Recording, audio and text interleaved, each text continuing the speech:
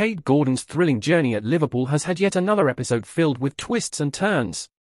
This young winger, who has faced challenges due to injuries in the past, returned to action earlier this month after a long-awaited comeback. But wait until you hear about his latest setback, this time, it has nothing to do with previous concerns about his physical growth. Picture this, after more than 18 months away from the fields, Gordon made his eagerly anticipated return to competition in early September.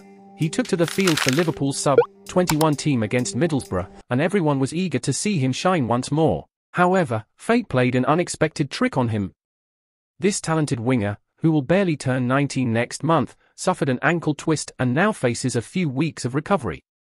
Although it's not a serious injury, the timing couldn't be worse. Gordon was finally regaining his top form after a long period of inactivity. His incredible start at Liverpool at the age of 16 remains etched in everyone's memory, with goals in the League Cup and a debut in the Premier League, where he became the youngest player at the club to start in a major semi-final.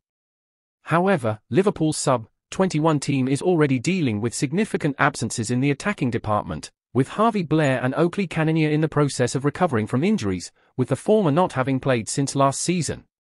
We hope Gordon returns to the pitch quickly and continues to shine with his incredible skill. This is just the beginning of a career that promises excitement and success. And if you want to receive the best news and updates about Liverpool, don't forget to leave your like to keep receiving our daily content. Thank you very much for following us this far, and until the next video.